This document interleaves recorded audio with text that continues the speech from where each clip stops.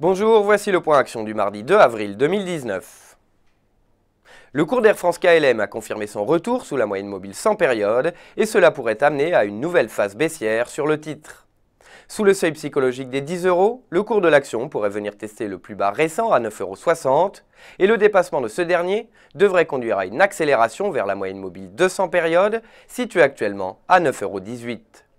Retrouvez-nous dès 11h pour le Market Live et dès demain pour d'autres analyses.